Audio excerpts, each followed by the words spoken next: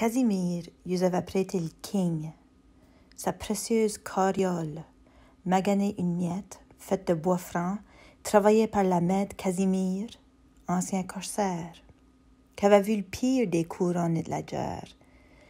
Le king promena sa reine, Marie, le long du chemin du roi, occasion spéciale, dimanche tranquille, rien que pour s'amuser, Casimir au bride dehors se faisant plaisir de la driver. Le roi de Naples avait poliment acquiescé, true to forme, avait même commenté la forme, la noblesse, l'esprit du carrosse. Mais une fois la petite porte fermée, Joachim Murat put point s'empêcher. Christos! Le drap de laine lui piqua le dessous de la fesse. C'est un miette trop de grange pour le collant de son costume, la délicatesse.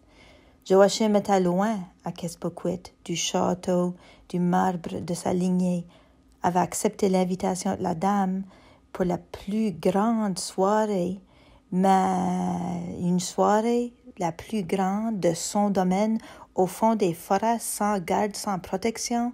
C'était comme ça au Nouveau Monde. C'était comme ça les ententes, la stratégie, les manières tant vantées de l'industrie. Ça sentait l'ingénu. Joachim avait amené son épée. De quoi faire bonne mine au moins. Un time? Un parc? Pas drôle que la petite Cécile perdait ses forces, manquait tact.